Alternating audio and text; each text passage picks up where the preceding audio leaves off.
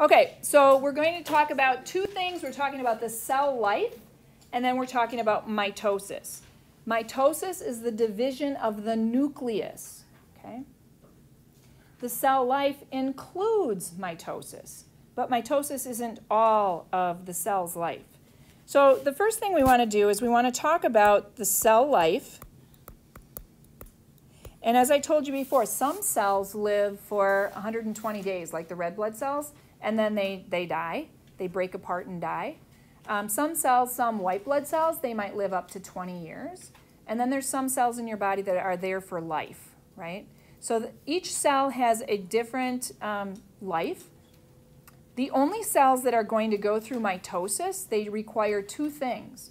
One, they have to have a nucleus, because that's what mitosis is. It's dividing the nucleus into two nuclei that are identical to the first nucleus, and they have to have centrioles. If they don't have those two things, they cannot divide, right? So we have to have those two things. So let's start out by looking at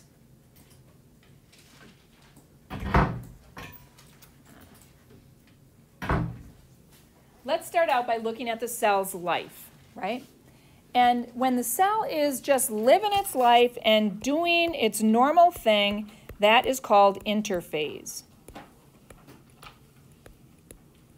Interphase is not a part of mitosis. Interphase is about three quarters of the cell's life. So mitosis is a quarter of it, and this interphase is three quarters of it. So the cell, most of the time, if a cell can divide, most of the time it's just going to be an interphase doing its thing, right? So what is its thing? Well, one of the things, the main thing that that nucleus is going to do is it's going to produce proteins.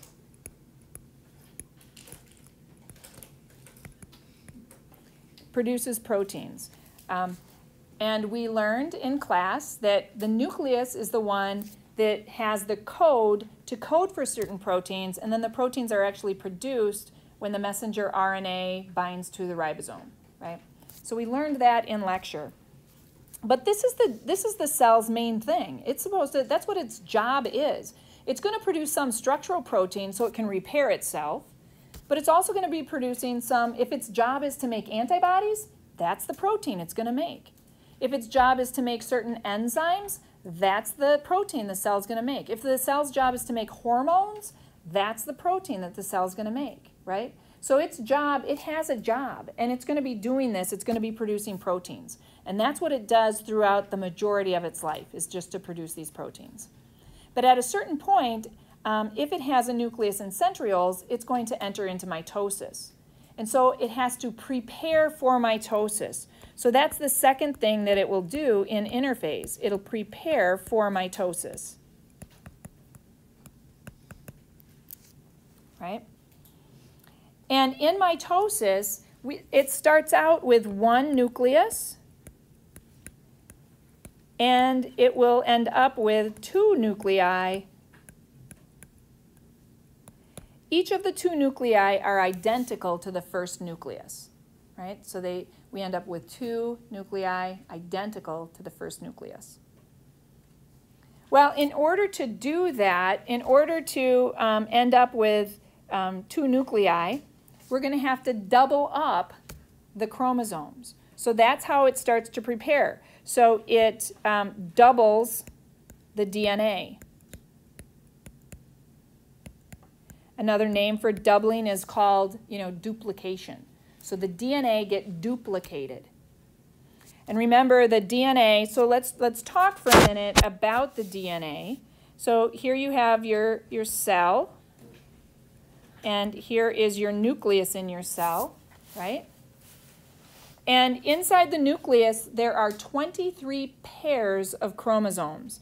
In all of your cells in your body, there are 23 pairs of chromosomes, except in your sex cells.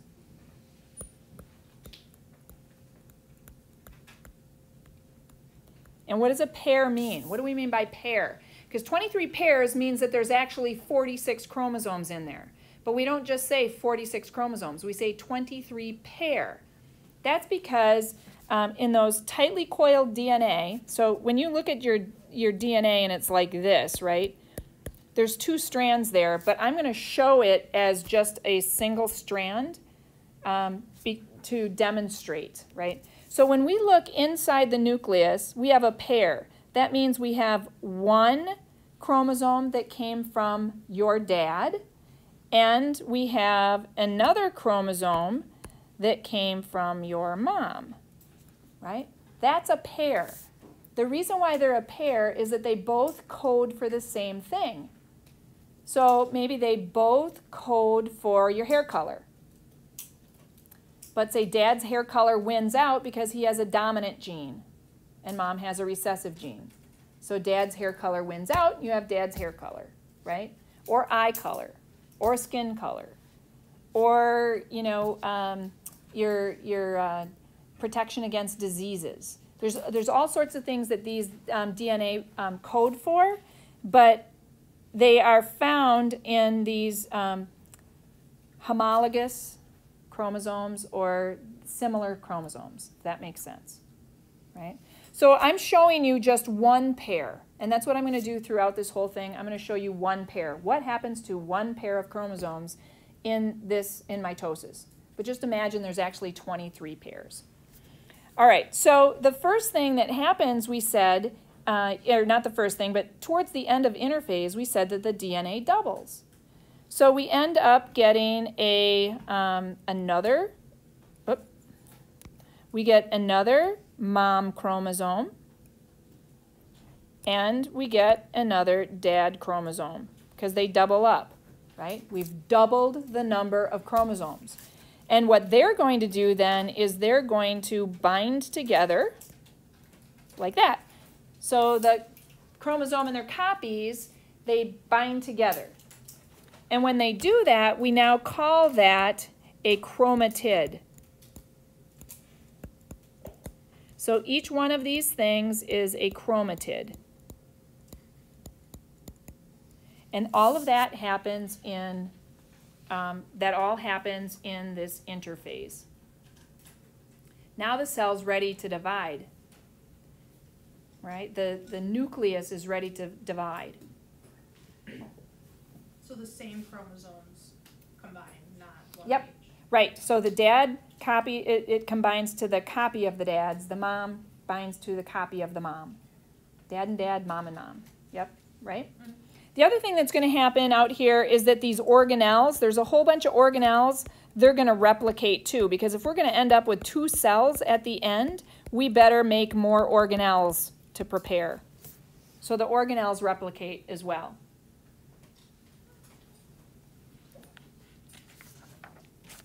Okay, now we're ready for mitosis. So mitosis has four different phases to it. So we have prophase, metaphase, anaphase, and telophase or telophase. I always used to say telophase, and then someone got me saying telophase, so I don't know. Tomato, tomato, right? In our lab models and also in these actual phases, prophase will have both an early and a late. And anaphase will have both an early and a late. So we have to be aware of that, right? So in our models, we're going to see the early and late of those phases. So the first phase we want to look at then is prophase. And you know, when, you, when you're memorizing things, just make up whatever silly thing you can do to memorize stuff and then the you know go back and try to comprehend it you have to memorize steps you have to memorize um, lists there's a whole bunch of things to memorize right uh, but you also want to make sure you understand it so to memorize this you could say promat so promat to know the order of mitosis pro m a t promat you know anything silly that you can think of to memorize it, right? All right, so let's talk about prophase. So in the early phase of prophase, bless you, there's our cell, and there's our nucleus, okay? And inside the nucleus, we have dad's chromosomes and their copies, and we have mom's chromosomes and their copies, right? So that's what we have. And at the same time, what happens, so this is um, the beginning of, of prophase, this is early. What we see happening is those centrioles. Those were one of the organelles that replicated. So now instead of having one pair of centrioles, we now have two pairs of centrioles, right? Two pairs of centrioles.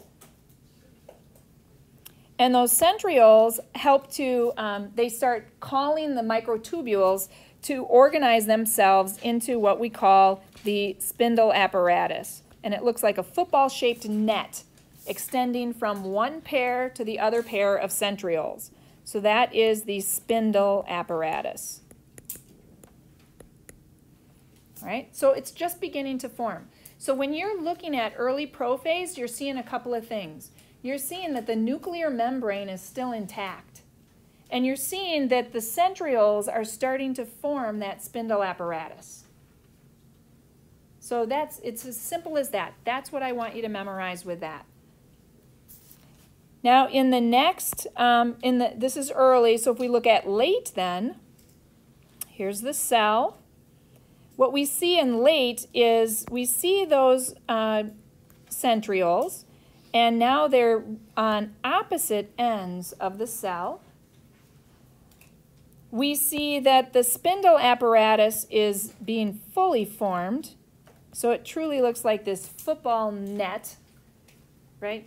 Like it's in the shape of a football, but it's really like a net because it's going to catch the chromosomes. And then we see those chromosomes, and they're caught in the net. So there's dad's chromosome, and there's mom's chromosome, right? And they're just caught in the net. That's only that's only um, one. You know, there's 23 others identical to you know there are 23 other chromosomes. Okay, so this is the late phase. They're just caught in the net. No nuclear membrane.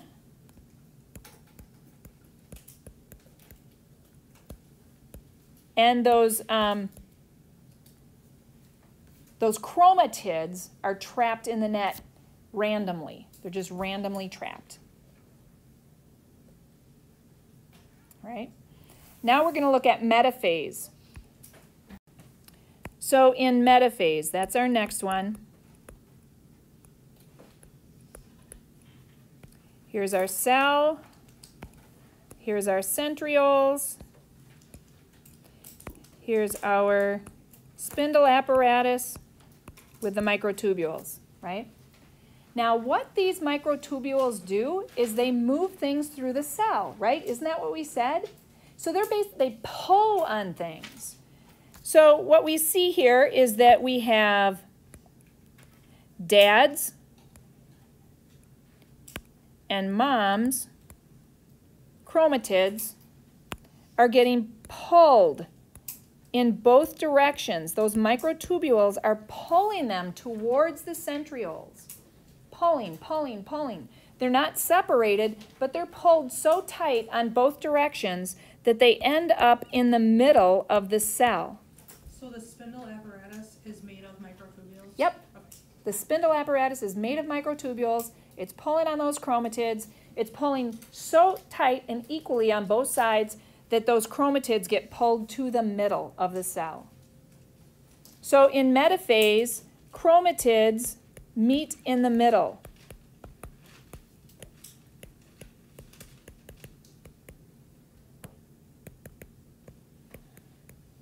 Meet in the middle, metaphase, right? That's what metaphase is. Right? Now we're going to look at anaphase. So what happens in anaphase? Now we said that anaphase has an early and a late. So we'll look at early, and then we'll look at late. Okay, so in early, here's our cell, right? And here we have the spindle apparatus. But the, um, the, the chromatids get pulled apart.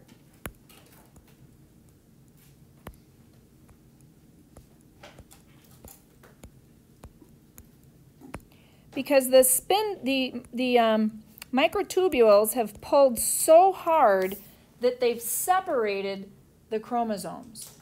So during anaphase, the chromatids separate.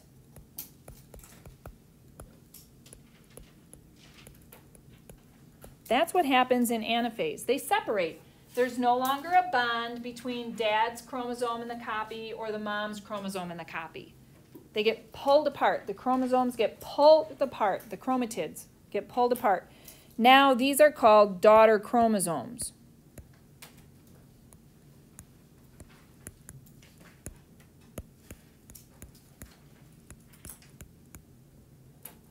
Okay, so we've got daughter chromosomes pulled apart. Now we know it's early because they're still fairly close to the middle. That's one huge clue that it's early. The other clue is nothing's happened on the surface of the cell because there's another part of the cell's life that starts to happen in late anaphase, right? So let's look at late anaphase then. Here's the cell. Whoops. Here, let me uh, go back and do this. Here's the cell. In late anaphase, we start to see some dimpling in on the cell membrane. And that dimpling is called a cleavage furrow. So that's a big, big clue that we're now into late anaphase. The other thing that happens in late anaphase is that those um, chromosomes, those daughter chromosomes, are now pulled closer to the oops, closer to the um, centrioles. See that? They're further from the center. They're getting closer to those centrioles. Do you see that? So here, they were here, and then they just got pulled. So they got pulled, pulled to opposite ends, right? So that's the, some of the things that you're going to see in this late phase of anaphase. You see the cleavage furrow, and then you see that those, you know, those uh, daughter chromosomes are really moving closer to the centrioles. Then we get to the last phase of mitosis, and that is called telophase. And the one big thing that happens in telophase is that the nuclear membrane reforms.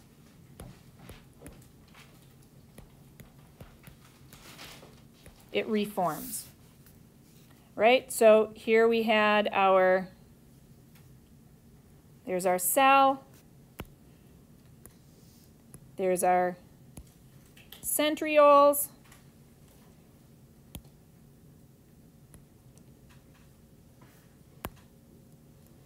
there's our chromosomes, and the nuclear membrane reforms around those chromosomes and the centrioles are sitting right outside it.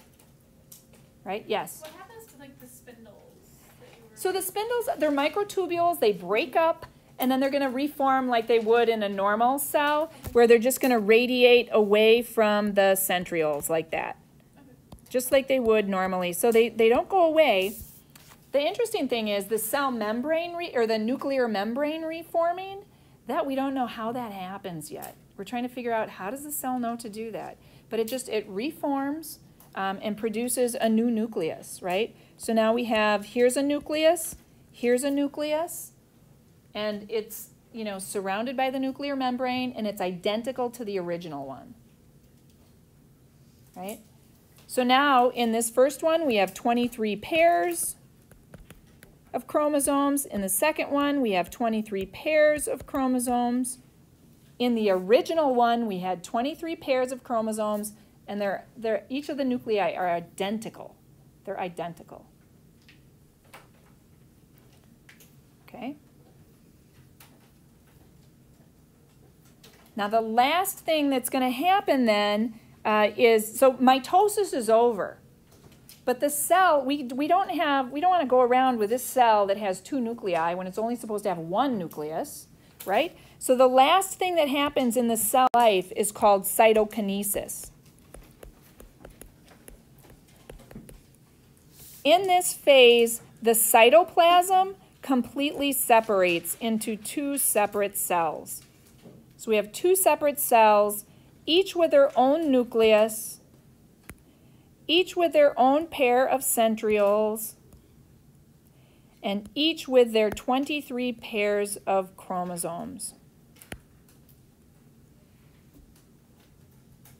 And while this is happening, all the organelles are dividing into, Yeah, the organelles, and so the organelles might not divide equally. Like maybe this one gets a few more than this one, you know. They might not divide equally. Doesn't matter because the organelles are made up of products that the nucleus can produce. Okay. So it'll make it'll make new organelles as it needs it. Yep. Okay. Okay. So that's mitosis, right?